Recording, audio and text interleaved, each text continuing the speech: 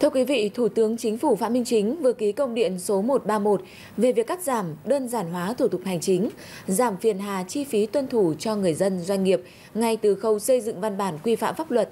Theo công điện, Thủ tướng Chính phủ yêu cầu Bộ trưởng, Thủ trưởng cơ quan ngang bộ, Chủ tịch Ủy ban nhân dân các tỉnh thành phố trực thuộc trung ương kiểm soát chặt chẽ và thực hiện nghiêm việc đánh giá tác động chính sách, thủ tục hành chính tại các dự án, dự thảo văn bản quy phạm pháp luật nâng cao hiệu quả việc ờ, tham vấn đối với đối tượng chịu tác động theo đúng yêu cầu của luật ban hành văn bản quy phạm pháp luật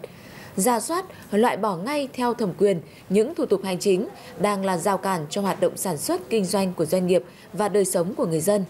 Đặc biệt, công bố công khai kịp thời, đầy đủ, chính xác các thủ tục hành chính trên cơ sở dữ liệu quốc gia về thủ tục hành chính để đội ngũ cán bộ, công chức và người dân, doanh nghiệp biết, thực hiện và giám sát việc thực hiện.